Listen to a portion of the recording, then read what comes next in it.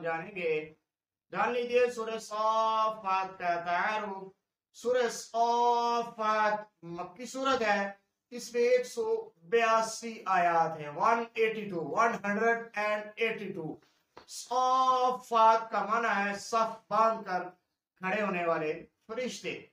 जैसे कि कुरान पाक में सूरह साफात के आगाज़ में अल्लाह रब्बुल आलमीन ने इरशाद फरमाया, वस्साफात सफ़न फस्सादिरात ज़जरा फत्तालियात ज़िक्रा.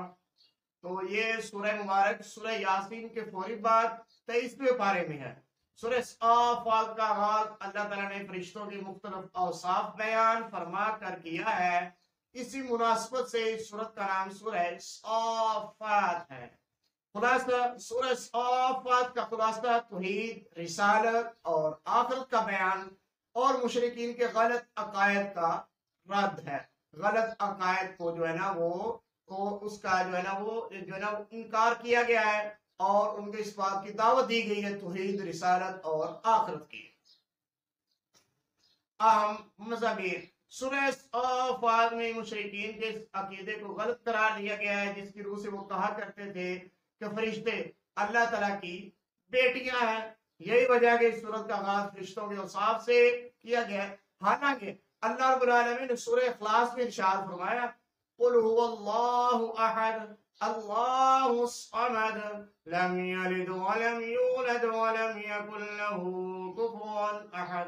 कह दीजिए, अल्लाह तला एक है, अल्लाह बेनियाज है। ना उसने किसी को जना है, ना वो जना गया है। यानी ना वो किसी का बाप है और ना वो किसी का बेटा है और उसकी हम सरी करने वाला भी कोई नहीं है। वो बेनियाज है, यानी कि हम सब उसके मोहताज हैं, वो किसी का मोहताज नहीं है। वो अपना निज़ाम चलाने में कायनात का निज़ाम चलाने में किसी का मोहताज नहीं है। आगे देखिए, यही वजह से इस सूरत का आगाज़ फरिश्तों के औसाफ से किया गया है। आखरत की मंजर कशी सूरत में, आखरत में पेश आने वाले हालात की मंजर कशी फरमाई गई है। कुफार को कुफर के होलनाक अंजाम से, अंजाम का माना इख्ताम से डराया गया है और उन्हें मुतनबे किया गया अवेयर किया गया, खबरदार किया गया, उनको नोटिस दिया जा रहा है कि इनके तमाम तर मुखालफत के बावजूद इस दुनिया में इस्लाम ही गालब आकर रहेगा। आगे इस सूरत में हज़रत कुछ अम्बिया कराम को भी तस्करा है।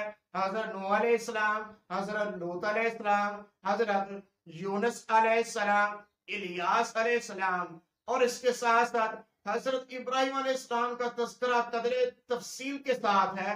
हज़रत इब्राहिम इस्लाम का जो अपने बेटे को जिबा करने का वाक्य है, वो मुकम्मल तौर पर इस सूरह मुबारक के अंदर है। उसके बाद अल्लाह ताला ने हज़रत इब्राहिम अलैहिस्सलाम को अपने बेटे हज़रत इस्माइल अलैहिस्सलाम को जिबा करने का जो हुक्म दिया था, और उन्होंने कुर्बानी के जिस जज्बे से, इस हुक्म की तामील की थी, उसका ज़िक्र तफसील से इस सूरत में किया गया है।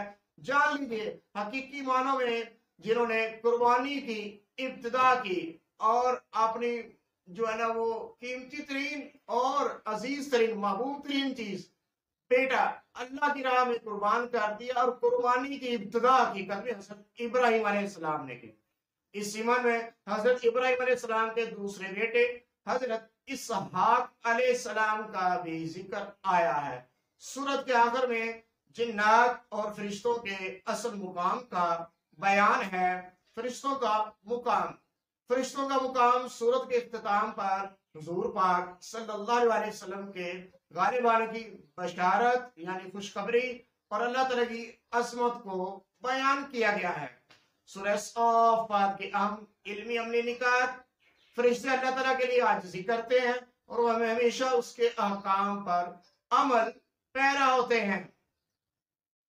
काफर सरदार और उनकी प्यारी करने वाले क्यामत के दिन आपस में झगड़ेंगे और अपनी गुमराही का इल्ज़ाम एक दूसरे पर डालेंगे।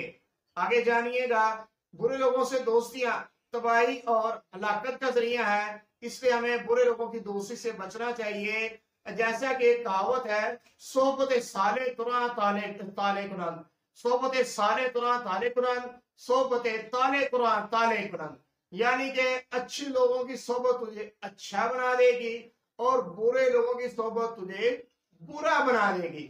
अज़ीज़ करम जान लीजिए इंसान का जो मुस्तकबिल बनता है, इंसान की अजमत की जो बुनियाद बनती है, इंसान कामयाब उस वक्त होता है, ठीक है जी जब उसके दोस्त अच्छे होंगे, उसके दोस्त नेकी की तरफ़ चलने वाले होंगे, सीधे रास्ते की तरफ़ चलने वाले होंगे, जिसकी वजह से उसकी शख्सियत के ऊपर उसके दोस्तों का असर होगा और वो भी अजमत और कामयाबी की सीढ़ी की तरफ़ जाएगा।